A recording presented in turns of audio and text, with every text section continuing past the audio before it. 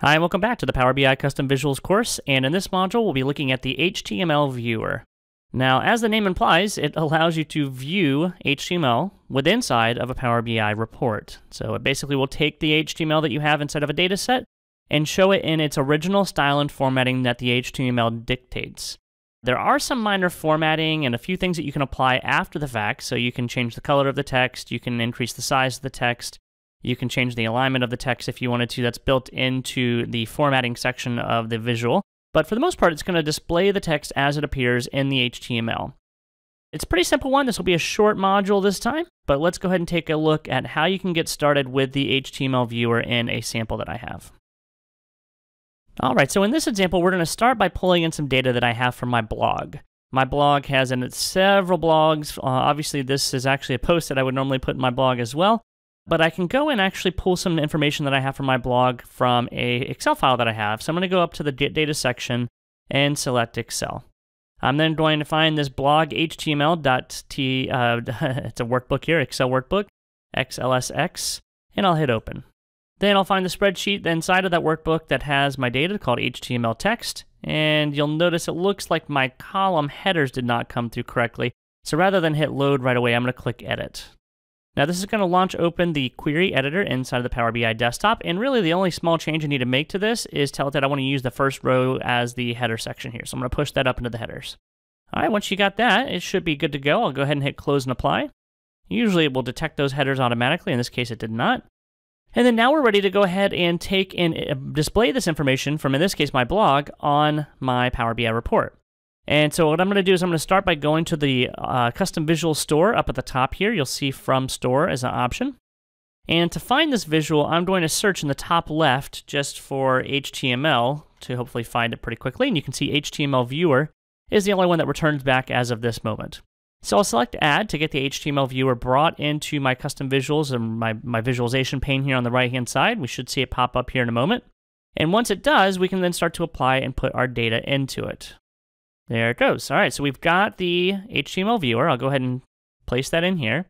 And then I want to use this a little bit differently. I'm going to make this a little bit larger, maybe to have it take up about half the screen here. And before we actually start to place anything in it, what I'm going to do is I'm going to bring in some slicers based on the categories of the data that I have. So I'm going to bring in the, I'm going to click somewhere away from the HTML viewer for a moment, and I'm going to select topic and I'm going to bring in category and also HTML inside of a table so you can see what this information looks like when it's brought into a table. When it's inside of a table, you can see the HTML is just presented inside of the table as it's shown, just like it's regular text. And it doesn't really apply formatting and display the text like you would anticipate it would inside of the blog that it's pulling from. So it's kind of sloppy. It's not very easy to see and really interact with HTML data with the native ways that you have available. Now you can hover above and it'll kind of show you the full information as you can see there. But again, it's all in HTML, so you're not really getting a whole lot of uh, information out of what you're seeing here.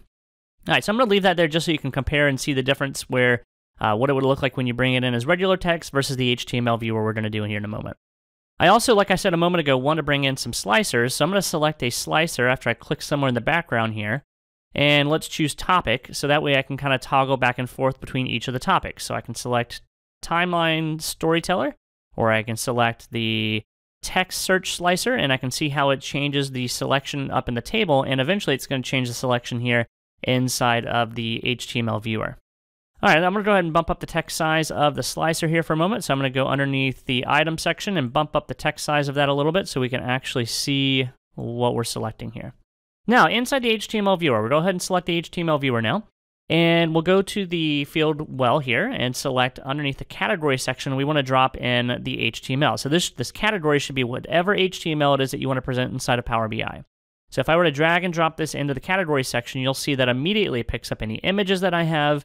It picks up multiple blog posts that I have. So seeing that this is all within inside of one data set, I'm looking at a total of four blogs here at one time and one HTML viewer. And um, I have some flexibility now, though. If I wanted to, I can use the slicer I have on the left-hand side, and I can select things like the timeline storyteller, and it'll take me straight to that blog. Or I can select something like the text search slicer, and it'll take me directly to that blog. And you'll notice, even though it's using GIFs or GIFs, whatever your preferred way of saying it is, you're seeing that it even brings in that interaction of the images and the uh, interactive images here as well. So it's brought all that information across for me. So that looks great. Now, what I'd like to do is I also want to show you some of the things that you can do in the formatting section. So I'm going to go uh, select the HTML viewer and then go underneath the format paintbrush here. And you'll see there's a content formatting section that you have available to you underneath the format paintbrush. I'll expand that and show you the brief few things that you can actually do in here. One, you'll see is there's an option in here that's called show as HTML, which kind of is falling off the screen here a little bit, so you can see it there. And right now that's turned on by default, but you could turn that off. And basically what this would allow you to do is have this as just a plain text viewer if you wanted to. So if I turn that off, you'll see that it still brings things around. It just does not show them in kind of the HTML formatted view like we would hope it would. And then um, in that case, if you do something like that, then it's still going to bring the information across.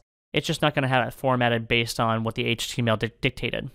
Now, when you do that, you can then also come and, and tell it that you want to do certain text alignment. So if you want to center everything, you can do that. If you want to right align everything, you can do that. You do have some capabilities within inside of here to adjust things. You can also change the text color if you wanted to. So if you wanted to choose a color outside of what was uh, available by default, you can change that. Hopefully you're not choosing some awful color like I just did. And then maybe something that is more relevant though is you can also bump up the text size of all the values. So if you actually want to make it readable, you can bump up the text size some and be able to make it so that it is much clearer and uh, what is displaying to the users. Okay. Now that uh, text size is relative, so it depends on which text you're looking at, how much it increases it. So it increased my headers quite a bit. It increased the bullets I have below as well, but it's you know obviously the bullets were a lower text size to begin with, so it doesn't look like it increased them nearly as much as it did the larger ones. All right. So that's really it for this one. The text viewer, eh, our HTML viewer, is pretty simple to do.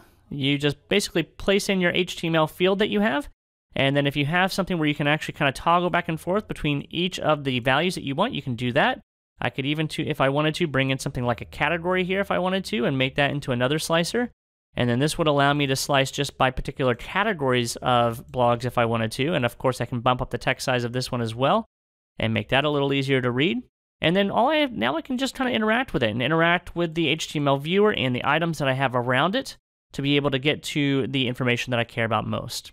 So hopefully you guys enjoyed this one. It's a nice uh, short one, but it is effective whenever you have HTML that you want to be able to display inside of your reports. All right, you guys have a good one and hope you guys enjoy this one.